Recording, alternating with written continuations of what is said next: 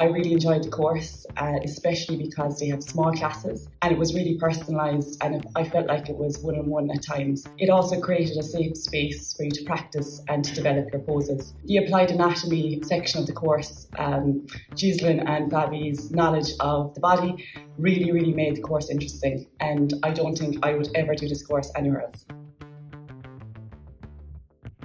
I just finished my 200 hours teacher training course here in Sacred Body Studio, which I enjoyed immensely. I've been coming to the studio for a number of years now, and I wouldn't have really considered the teacher training anywhere else. Their knowledge of anatomy and alignment is second to none, and for me, that was a really special part of the course.